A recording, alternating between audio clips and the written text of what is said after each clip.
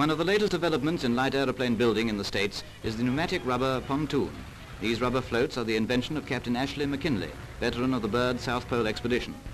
When they're fully inflated, they weigh only about 40 pounds each, and they're built for ice or water. Only the underside is rigid, and it's claimed that they can take much more battering than skis or the ordinary floats. At Long Island, the new pontoons are being shown off for the first time. In effect, they convert a land machine into an ice or seaplane.